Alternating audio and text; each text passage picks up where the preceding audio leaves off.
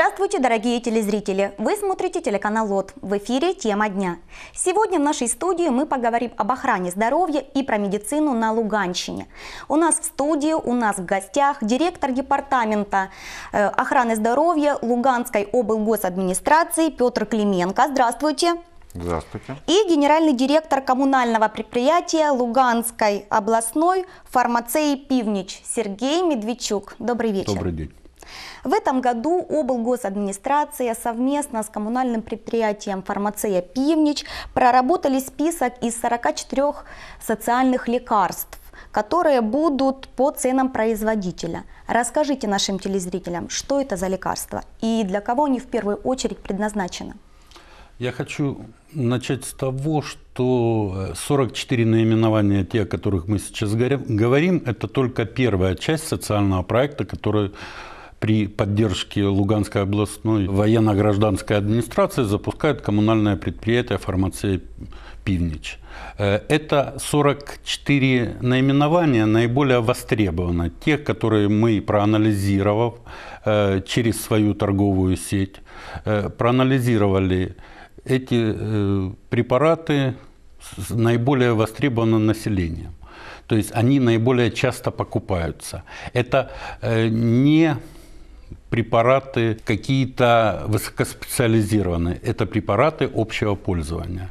То есть я не буду перечислять этот перечень весь. Он в принципе в нашей сети, а сеть фармации Пивнич на сегодняшний день насчитывает 158 аптечных учреждений по всей области то э, любой приходящий сейчас в аптечную сеть, он увидит этот перечень, эти, э, эти 44 наименования. Я хочу просто обратиться к населению и попросить вас просто про э, информировать население, что во всей сети будет вот э, возле кассовых аппаратов, где находятся, вот такой флаер – и здесь есть перечень препаратов, о которых мы говорим. Здесь есть дозировка, ну то есть упаковочные все моменты.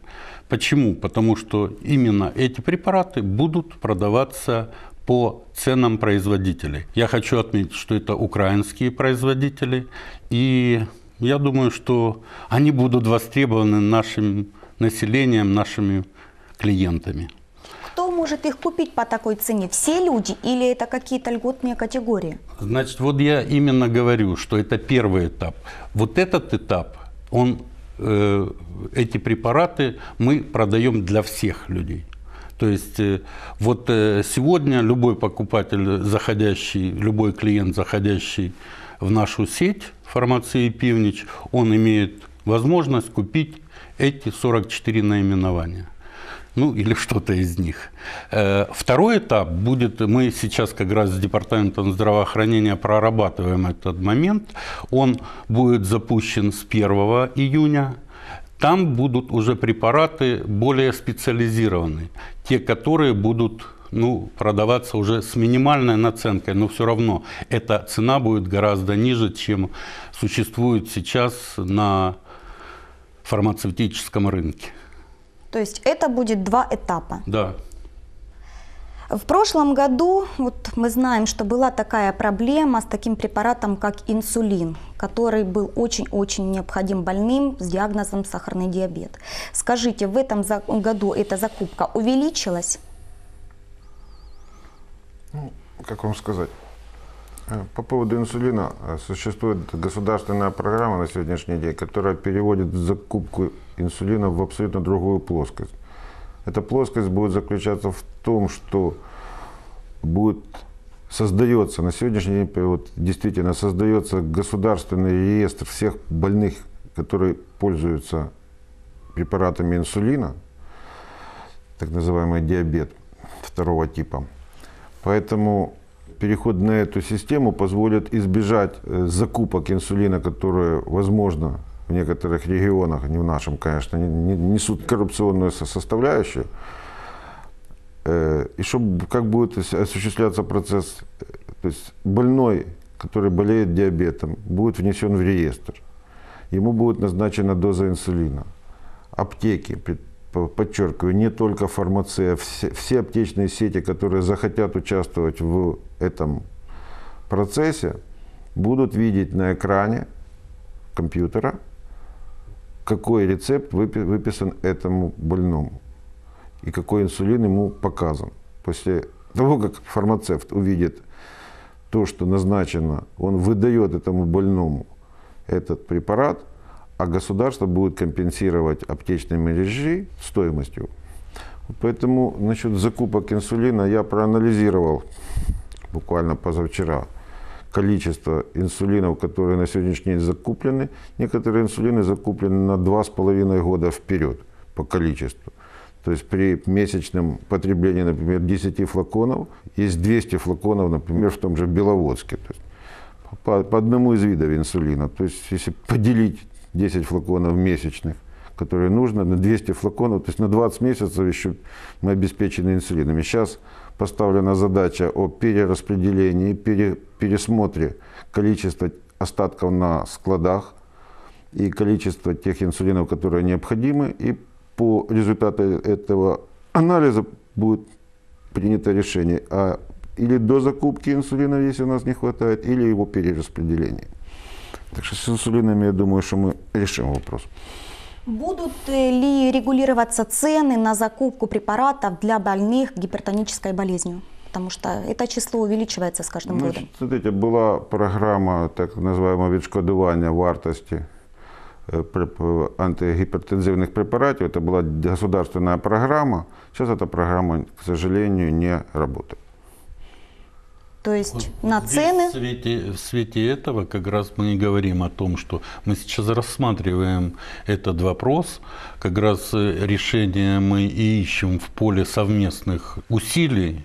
Возможно, что в тот перечень, который будет на втором этапе, мы пойдем по пути именно снижения. цены. Да? Ну, смотрите, в, этом, по 20 в этих 44 тут есть антигипертензивные препараты. Но если раньше государство могло как бы компенсировать частично их стоимость, то в данной ситуации, в данной, на сегодняшний день об этом речь не идет. Но я думаю, что такую программу мы будем рассматривать как, как о о возможности введения. Все будет зависеть от того, будет ли государственная программа и, и сможет ли э, бюджет Луганской области то есть сделать какие-то додатковые э, кошты выделить на это финансирование.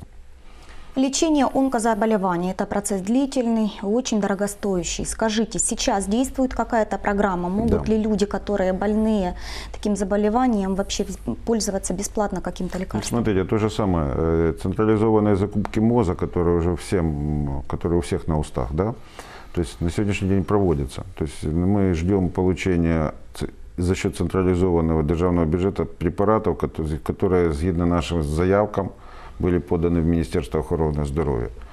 Поэтому, как только там проведут э, тендерные торги и централизованно поставят нам препараты по онкологии, то они, естественно, без всякого промедления будут призначены тем, тем кому они необходимы. Вот так вот. Э, Скажите, лечение вот, ВИЛ-инфикованных, больных на различные гепатиты, что предусмотрено для таких больных? Действуют ли какие-то программы именно для этих пациентов? Да, действует. Государственные программы существуют. Та же, та же, та же, та же э, схема, которая применяется при закупках онкопрепаратов, та же схема. То есть централизованные закупки ретровирусной те- терапии и централизо- централизованные поставки. И как только они будут проведены, ну, у нас э, проведены, мы тут же их э, раздаем по, э, по, ну, передаем в центр СПИДа, и они, соответственно, назначают лечение.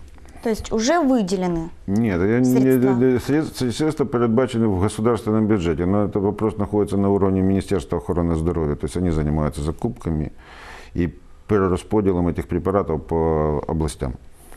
Кто в этом году является основным поставщиком вакцины? Как вообще будет происходить закупка вакцин? Ну, тоже, та же по, вак- по вакцинации, это державная программа, государственная программа, она точно так же подразумевает централизованную закупку вакцин по, через центральный орган Министерства охраны. Ну, на, данном, на, данном, на данном этапе проводится третий этап вакцинации против полиомиелита, и мы забезпечены этими препаратами по вакцинации сегодня почти в полном объеме. То есть у нас нет особых проблем по э, вакцинам. Петр Николаевич, вопрос непосредственно к вам. С начала боевых действий на Луганщине все вынуждены были покинуть оккупированную территорию и перебраться на территорию подконтрольную Украине. Как сейчас обстоят дела? Все ли учреждения уже смогли возобновить полноценно свою работу? Ну, во-первых, далеко не все покинули, а во-вторых, учреждения, которые, учреждения, которые переехали, не, не, не смогли возобновить э, полноценно свою работу. По это, на это есть ряд объективных и в некотором варианте субъективных причин. Объективными причинами является нехватка материально-технической базы. То есть это главная причина. Так исторически сложилось, что э, крупные учреждения, такие как э, туберку- то есть, нап- такие как областная больница, такие как областная детская больница, не имели филиалов в других районах Луганской области. То есть все это было централизовано в Луганске, который сейчас находится на временно оккупированной территории. Поэтому а создать инфраструктуру больничную есть достаточно сложный процесс. Поэтому было принято решение как бы рассмотреть вопрос создания высокоспециализированных видов помощи на, этой территории, к которым относятся там, онкология, кардиохирургия, к примеру, сосудистая хирургия, э, операции на глазах. То есть мы работаем над этим, но создать инфраструктуру так просто тя- тяжело. Вместе с тем существует ряд проблем по этому поводу. Например, создание, возобновление работы центра, например, перинатального центра, который на, в Луганской области был один из лучших в Украине. э, и созданный был буквально за несколько лет до войны. Где он сейчас? В Луганске, где он? В Луганске, на, Луга- на территории Луганска, на территории Луганска. То есть, То есть здесь он ну, никак Да, не- но, нет но- да, но помещений е- или в возника- чем-то- возникает проблема. Создать с нуля, то есть строить, ну, сами понимаете, что такое строить э, леч- лечебное учреждение, это не один год. Или использовать мощности имеющихся э, лечебных учреждений, того же, например, того же родильных домов, например, Северодонецка или Рубежного. То есть по оценкам, по нашим оценкам, они заполнены, то есть имеют еще возможность принимать в два раза больше родов, чем принимают. Например, Северодонецкий э, родильный дом может принимать около двух с половиной тысяч родов в год, а э, на сегодняшний день, по итогам 2015 года, там было принято всего 900 родов, из них 600 жителей Северодонецка, три- 300 областных. Мы э, обращаемся в, в орган местной власти, то есть Северодонецкую городскую раду, которую, которую там лихорадит от политических коллизий, с просьбой дать нам часть этого здания для того, чтобы мы могли возобновить работу, то есть укомплектовать, потому что укомплектовать легче, чем строить. Укомплектовать соответствующими оборудованием, укомплектовать кадрами. Ну, к сожалению, ответа на наше обращение уже второй, третий месяц нет пока. Ну, сказать, что Северодонецк, Северодонецк не хочет там отдать, то есть так тоже нельзя. А сказать, например, что ну, это Рубе- обратились мы к, к Міську раду Рубежного, Рубежную раду, они подумали и сказали, что они не, не видят сейчас возможности передать нам часть, например, пер- перинатальный центр. Ну, что еще, например, по возобновлению работы в закладе охраны здоровья? Пример. Область находит, находится в зоне АТО. Ну, все это знают. Проблема медицины катастроф и экстренной медицинской помощи – одна из на сегодняшний день ведущих. Что это значит? То есть координация действий, которые могли бы быть, э, чтобы, чтобы экстренная, то есть это скорая помощь и экстренная медицина катастроф – это та- те ситуации, которые могут привести к массовой гибели людей. Ну, Для простой самый большой пример это ДТП, в которой участвует несколько машин. Ну вот для того, чтобы правильно скоординировать и не гонять машины, например, из Северодонецка где-нибудь на какую-то дорогу под Новый Айдар, требуется создание централизованной диспетчерской. Что для этого нужно? Централизованной диспетчерской на сегодняшний день у нас есть все возможности, есть все договоренности, есть финанс, финансовые ресурсы. Ну, опять-таки банальный этот причина, у нас нет помещений, где можно разместить эти машины, которые являются реанимобилями в полном смысле этого слова, с наличием дыхательного, нар- наркозного оборудования, вспомогательное оборудование, они должны... Оборудование стоит достаточно дорого. Они не могут стоять на улице. Для них надо построить теплые боксы, для того, чтобы это оборудование не портилось, для того, чтобы машина в любое время могла выехать на оказание этой помощи. Здесь, в Северодонецке, есть такие Да, современные помещения автомобили? есть. Часть автомобилей удалось перевести с оккупированной территории. Частично эти машины есть. А с оборудованием... Чем я не- они оснащены? Ну вот они оснащены слабо. У нас нет достаточно автомобилей для перевозки, например, э, детей, которые рождаются недоношенными, нет, которые оснащены кювезами для этой перевозки. Но мы работаем над этой проблемой. Мы, у нас есть договоренности с э, министерством, есть понимание в Министерстве охраны здоровья, что нам это надо, оно нам всячески помогает. Сейчас у нас есть э, как бы договоренность с канадским благоде- благоде- благодійным фондом, который тоже пообещал нам к а, ну, не знаю, в течение там, двух-трех месяцев поставить эти автомобили. Ну, документально это пока не оформлено. Ну, мы рассматриваем вопросы закупили такие, закупки таких автомобилей за деньги областного бюджета. Ну, пока надо было бы просто создать хотя бы такие, как я, как я говорю, мозги для скорой помощи, чтобы оснастить их э, трекерами GPS, оснастить их радиосвязью, потому что из личного опыта ликвидации масштабной катастрофы в Сватово, когда исчезает мобильная связь, то прекращается вообще всякая связь между и ск- и скорыми помощями и всем остальным. То есть попал там снаряд этот в ретрансля- ре- ретрансляционную вышку, и в 4 часа утра связи не стало. А, Ну, но мы выкрутились, мы работали в режиме курьерской службы. Курьерская служба это была одна машина уезжала, передавала куда ехать второй. То есть, тем более, что большая помощь в то время, во время этой, ка- этой трагедии в Сватово была оказана госпиталем, который не переехал из Сватова, не эвакуировался. Больницу нам удалось эвакуировать, это было, извините меня, почти, почти 200 человек больных, а в госпиталь военный остался, и все больные были э, обслужены и надана медицинская помощь именно вое- военными, которые были в Сватово. Поэтому это нас спасло. Если бы это пришлось бы возить их в Кременную или в Рубежное, то вы можете себе представить, то есть связи между машинами нет, куда ехать никто не знает. Но, тем не менее, мы справились с этой ситуацией, так что я думаю, что мы продолжим наши усилия прилагать к дооснащению экстренной службы. Я думаю, что через некоторое время, но я обращаюсь, например, к Северо-Донецкой міськой раде с просьбой дать какие-то вразумительные ответы на, или они дают нам, э, дают нам помещение бывшей межбольничной аптеки под центр экстренной медицины, медицины катастроф, или не дают. Если не дают, значит, будем думать что-то другое. А потому что вопрос как бы висит уже третий месяц. Вместе с проблемой нехваткой помещений есть еще рядышком с ней идет проблема, остается и она нерешенной, дефицита медицинских кадров. Мы говорим о том, что много областных врачей осталось по ту сторону фронта, многие переехали. Вот так и получается, что там работают студенты, здесь тоже нехватка кадров. Какой вы ви- видите выход из этой сложившейся ситуации? Как можно привлечь, на ваш взгляд, новых специалистов? Ведь рабочие места есть. Ну, рабочие места, скажем, есть пока условно, потому что, опять-таки, то есть не снимается проблема материально-технической базы. Что такое материально То есть есть, надо дать, чтобы лечить больного, ему на современном этапе недостаточно фонендоскопа и электрокардиографа. Ему надо дать место операционное, ему надо дать место, э, поставить наркозный аппарат нормальный, ему надо дать после, послеоперационное, я имею в виду хирургическую составляющую, послеоперационное обеспечение. А кадры.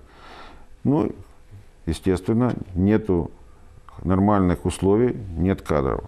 Будут, будут нормальные условия, будут кадры. То есть, например, кардиохирургия, да, у нас э, мы рассматриваем установку ангиографа для проведения операции стентирования э, се- сердечной сосу- се- э, артерии сердца при ишемической болезни. Ну, то есть, опять-таки, то есть провели переговоры с институтом Амосова, подписали меморандум с Институтом сердца Министерства охраны, э, с Институтом Шалимова, там, где э, ну, это все не э, академического подчинения Академии медицинских наук, которые любезно согласились начать обучение наших специалистов на своих территориях для того, чтобы у нас возник кадровый. Это просто одно из аспектов кадровой по кардиохирургии. Ну, а по остальным специальностям у нас кадрового такого дефицита жесткого нет, есть больше дефицит э, материально, ну, повторяюсь уже, материально-технического обеспечения. Потом второй момент решения кадровой проблемы. Мы плотно работаем с Луганским медицинским университетом, который, слава богу, не остался на, на оккупированной территории, переехал в город Рубежное, там, в всяком случае, имеет а, главную базу. И у нас есть договоренности с ректором университета Йофе Игорем Владимировичем о том, что они максимальное количество своих студентов будут направлять в те дефицитные э, для нас, вернее, в те, в те отрасли, в которых существует кадровая проблема. Ну, опять же говорю, то есть, чтобы направить-то можно, но уже надо дать где работать. Поэтому основное место сейчас занято, основ, основное внимание уделяется сейчас созданию материальной базы. То есть рассматриваем очень много вариантов по, и, по, и по онкологии, и по кардиохирургии, и по гемодиализу, что еще у нас такое? И экстренной медицины. Ну, такие вот основные направления. Луганский областной онкологический диспансер, он сейчас, мы знаем, находится в Кременной. Есть ли там то оборудование, которое необходимо для выявления и для лечения нету больных? Там, нету там оборудования, которое соответствует современным требованиям. Но опять-таки... То есть нашим жителям нужно будет обращаться за помощью в другие области? Да нет. То есть первичную диагностику мы вполне способны сделать сам, высокоспециализированную диагностику по, по типу пенсионных биопсий, э, каких-то просто биопсий, э, не только пункционных, но и там, эндоскопических. Да, сейчас на сегодняшний день есть проблема. Ну, опять-таки, провели исследования предложенных нам строений строение, к сожалению, передано, например, то есть то строение, которое передано под областную больницу, имеет возраст 100 лет. То есть, когда мы начали там заниматься разбором этого под строительство, под возобновление работы онкологического диспансера, то есть начали падать балки, то есть пришлось работы приостановить и заказать повторную экспертизу, чтобы не случилось киевской трагедии, да, которой дом стоял бы сто лет, а потом взял, упал, и 8 человек под, под, под обломками. То есть это вообще... Поэтому сейчас проводится экспертиза с помощью, с помощью привлечения научно-исследовательских институтов, которые имеют на это э, лицензию. И по, по, их, по их результатам будут опять приниматься решения, где мы, где мы можем начать работу по возобновлению работы онкологического диспансера. Еще один вопрос. Старобельчане очень ждут, когда же начнет свою работу Старобельский диагностический центр. Скажите, на каком этапе сейчас Благодарю работа? за вопрос, как говорят в кино. Смотрите, вчера приехал из Старобельска, то есть там есть строительство поликлиники, это продолжается с 2008 года, по-моему. Сколько это уже? Почти 20 лет, да?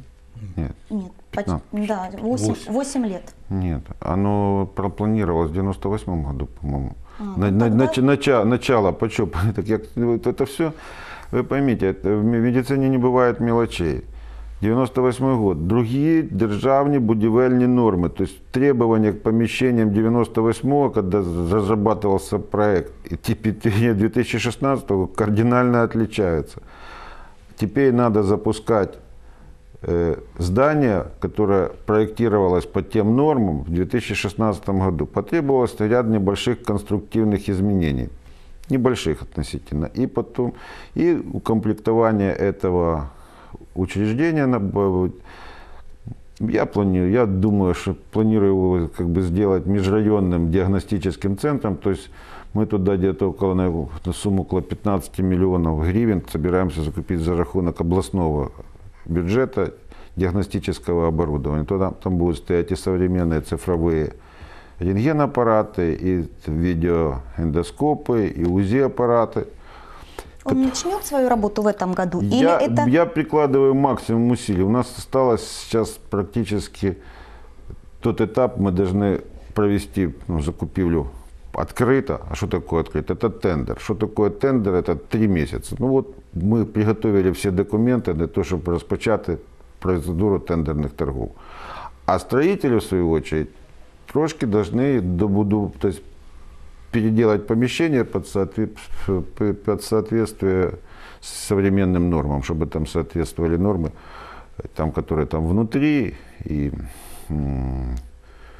внутри здания. Ну, полное понимание со Старобельской районной рады. Вчера был и голова рады, то есть они тоже додатково денег выделят на те, там, на мебель, на всякие такие вещи, которые им тяжело купить без помощи области. Но, тем не менее, они участвуют, помогают, способствуют, за что им большое спасибо. Петр Николаевич, к сожалению, время подходит к концу. Последний вопрос. Вот сейчас все очень часто говорят бесплатная медицина, бесплатная медицина. Но мы видим, что ее как таковой нет. Какие перспективы вообще от платной медицины?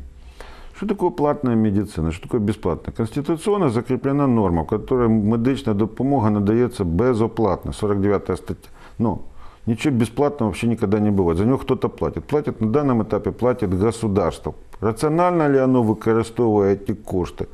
Ск- Скажем, мое мнение, что не всегда. То есть, например, есть такое понимание, как цена мед- медичной послуги. То есть каждая вещь что-то стоит. Стакан вот этот что-то стоит, стоит все. Есть, например, стоимость укола, да, еще она состоит.